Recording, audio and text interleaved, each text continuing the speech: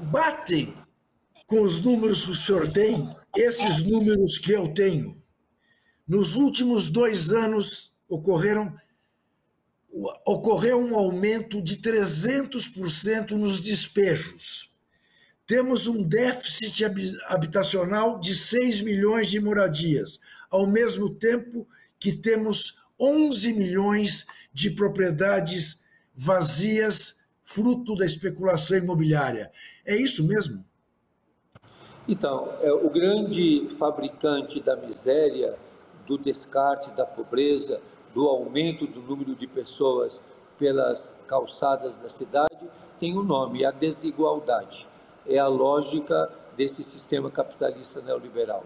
E isso é dito não por mim, é dito pelo Papa Francisco na exortação apostólica Evangelii Gaudium. É, a lógica do capitalismo neoliberal é descartar. Então, o descarte vem da desigualdade. Então, essa é uma luta ampla. Nós vamos fazendo é, chegar ao alimento, é, garantir a saúde, garantir as condições de vida digna, para lutarmos contra a desigualdade. A desigualdade é intolerável. E a desigualdade não se combate pela igualdade, se combate pela equidade. Então, é pela equidade. É uma palavra que nós descuidamos e que às vezes nem usamos mais. É, a igualdade é dar para todos o mesmo. A equidade é garantir para cada um aquilo que ele necessita.